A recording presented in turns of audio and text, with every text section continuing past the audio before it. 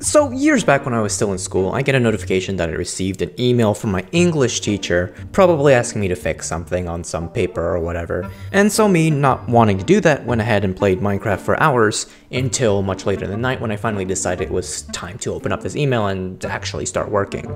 Fast forward, the next day, my teacher, let's say her name is Miss Alice, was able to tell that I hadn't opened her email until midnight, with some playful judgment that I probably should have started working earlier.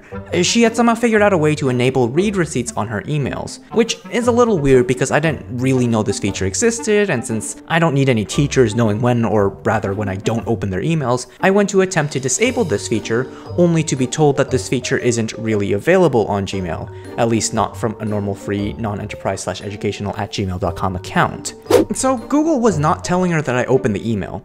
That would have been my first guess, but somehow she still knew exactly when I had opened up that email. And see, logically, someone had to tell her, and it wasn't me, and it wasn't Google. So who?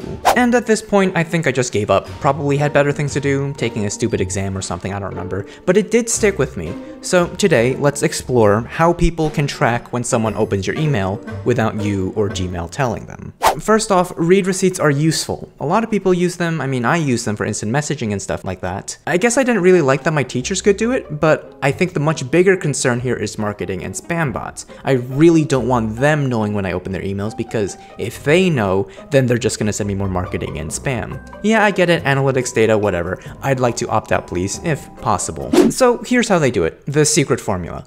So the simplest form of emails is just like sending a big blob of text, and that text is your message. But it's actually a little more sophisticated than that, and if you haven't been living under a rock, you'll know that emails are a little fancier these days. Texts and images and all sorts of goodies. I mean, I don't know if you've seen a modern marketing email, but they look good. It's like a mini website that you can read in Gmail, and that's because in a lot of ways it is a mini website, constructed with the same structures of our modern web. If you're familiar at all with HTML, you know that you can construct a very basic website with headers and text and also images. And effectively, you can basically just send this thing over and there you have it. A fancy looking email that's basically just a web page.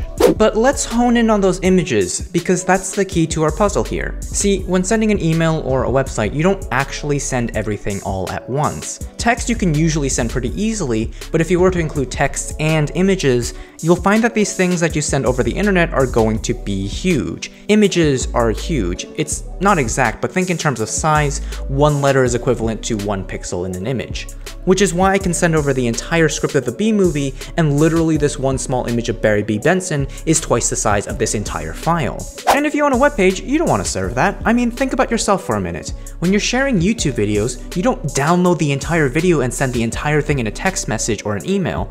The internet is much faster than it used to be, for sure, but even then, downloading HD videos, saving them to your computer, and sending them over, it can be a pain. No, you don't send the entire video, you send a link to that video and ask YouTube to serve the video to your friend instead. That way a million people don't have identical copies of the same image or video, and the person who owns the image slash video, in this case YouTube, is in charge of handing it out to whoever asks. This is also why, generally speaking, when you load an image on a web page or in an email, the text usually loads first and then the image comes second. It's because they're being pulled separately, and the image is bigger and takes a longer time to get. So someone sends you this email with a bunch of text. In that text, if you want them to show an image, there's an instruction here that says, go fetch me this image from Wikipedia, and then it loads a fraction of a second later. You send me text, I go ask Wikipedia and any other third parties for the image files, easy peasy. And therein lies the issue. There is another party here, not just me, not just Miss Alice, and not just Google. Because Gmail itself isn't handing you the image,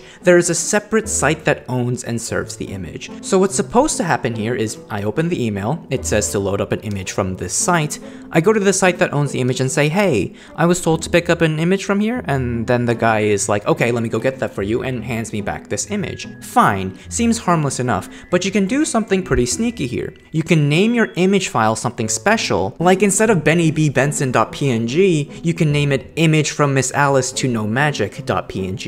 And so while they're fetching you that image, behind your back, the site can ring up Miss Alice and tell them that NoMagic just opened their email. Actually, more likely it's an ID number and then they look it up in their databases to find out who they're supposed to notify, but basically that's it. It's as simple as that. a third party who supposedly owns all these images that are snitching on you to your teachers by using images that are named in a specific way to inform the image owner on who they have to call. And usually the actual image is just a 1 pixel by 1 pixel image, so that it's basically impossible to see, but you know, the content wasn't really what was important. All that really mattered was the file name, so yeah. So, Miss Alice partners with this tracking website, let's call them emailtracker.com, and adds a reference to a tiny 1 pixel by 1 pixel image to the end of the email she sends you, usually automatically added with a Chrome extension. This image has one purpose. It has a unique file name associated specifically with you and that specific email. That way, if anyone asks for this image, Miss Alice and emailtracker.com knows that you opened this email. After all, no one else is going to ask for this random, tiny, nothing image. When you open that email, your browser goes and fetches that specific image with its specific name from emailtracker.com,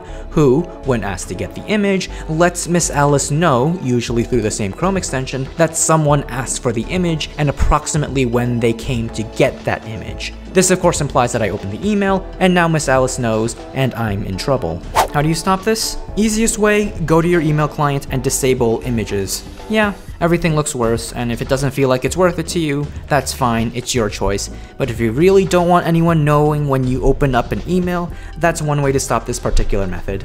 And one last thing, if you're ever upset that you don't have images anymore, just ask someone to send you some ASCII art to make you feel better.